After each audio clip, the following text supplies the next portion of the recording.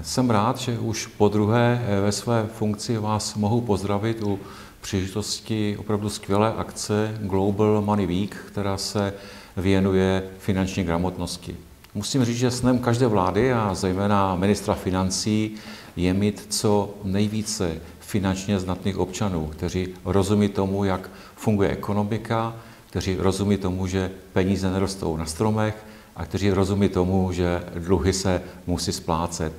Čím víc nás bude, tím více odoláme vábení těch, kteří nám slibují všechno hned a zadarmo.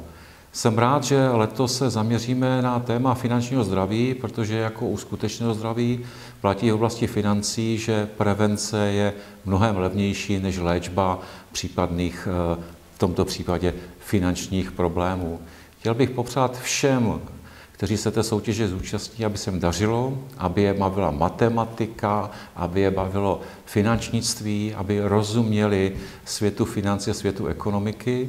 Těším se, že zvítězí se opět potkáme na ministerstvu financí a organizátorům přeji opravdu úspěšný průběh letošního ročníku.